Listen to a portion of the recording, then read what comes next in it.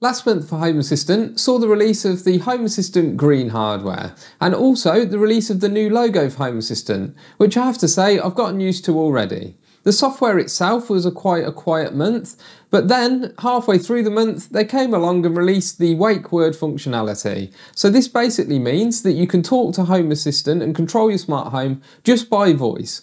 So it feels like we're not too far away now from being able to get rid of those Amazon and Google devices. You can use it with things like the M5Stack and a few other devices as well, or even build one of your own. The same can't be said for this month though, it's quite a jam-packed month of functionality. So let's take a look.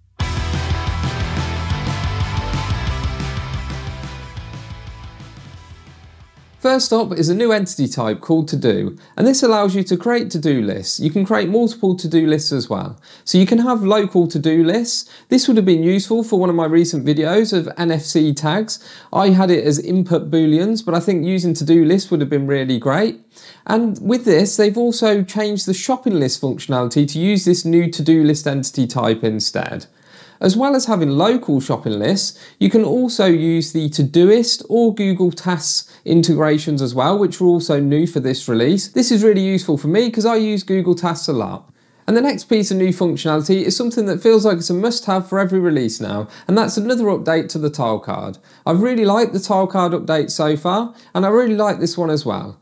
So instead of just having state information on the tile card, you can now have attribute information as well. And not only that, you can have multiple attributes on the card as well. It's not just for the climate entity either, you can use this for any types of entities. So hopefully this now means I can ditch some of my templates and custom cards that I use. The next one is an update to the energy dashboard so that you can filter by date range. I don't use the energy dashboard. Despite the integration probably being out for two years or so, I'm still using custom entities to manage my solar and energy. So I definitely need to get on to doing that.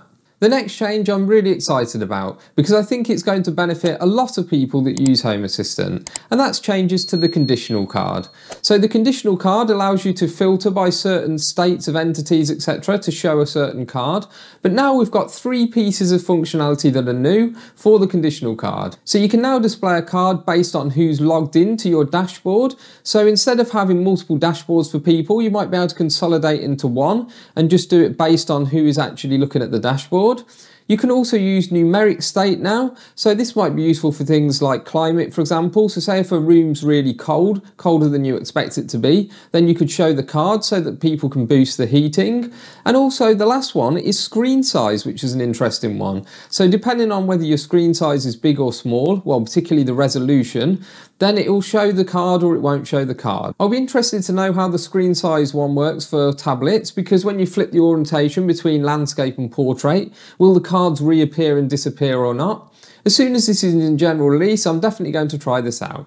The next one is a small change, but useful if you've got issues with your Home Assistant instance. So they've introduced a safe mode where you can restart Home Assistant into safe mode. This will disable your custom integrations and also dashboard resources as well that are custom. So this will be really good if you've got problems to try and narrow it down and figure out what's going on.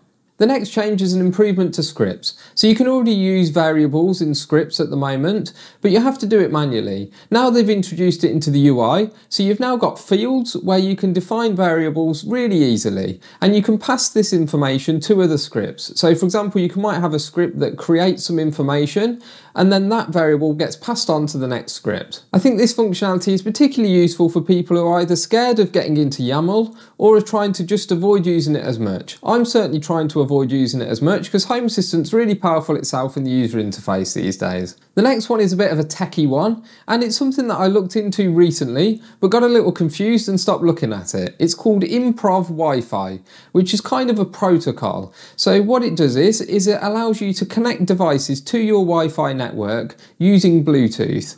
So they've now introduced this into Home Assistant, which is really great. So basically what it means is if you've got one of these devices that conforms to this standard, then it means that you can set it up probably without using their app. So at the moment, you might have to go into their app and then it will connect to the device itself and then you enter the Wi-Fi details. Whereas now you can enter the Wi-Fi details directly into Home Assistant. They've added this functionality for ESPHome, so I'm definitely going to give it a go with that. And then I'll get back to you on how successful I am. This functionality I would say is particularly good news for people that are developing things with ESP32 as it's got Bluetooth and Wi-Fi functionality. The Matter standard over the last year or so has gained a lot more traction than I expected to be honest, and there's quite a few devices out there already. Well now there's Matter 1.2 and Home Assistant has already integrated this standard into Home Assistant for this release.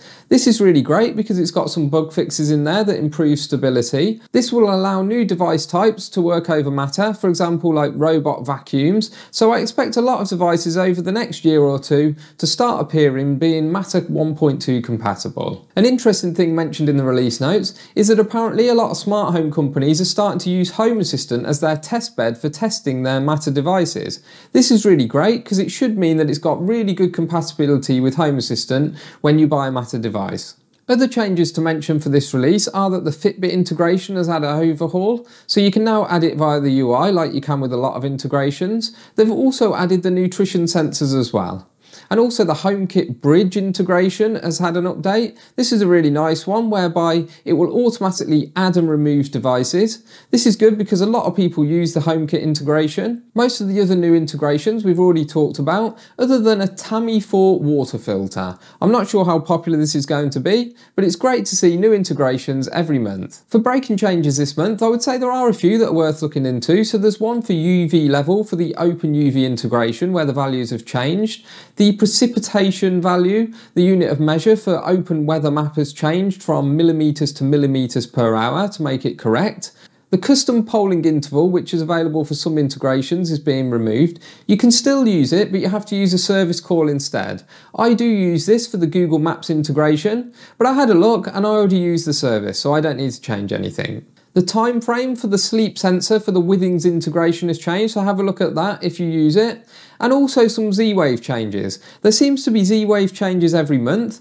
I don't use Z-Wave myself, so I don't know how stable it is, but leave a comment below and let me know how stable it is each month and whether these changes impact you or not. It's been another great month of changes from the Home Assistant team, so make sure you clear out time in your schedule to update your Home Assistant instance so that you can benefit from the new changes. Well, that's it for today, so please consider subscribing and liking the video if you haven't already, and comment down below with your favourite changes. So thanks, until next time.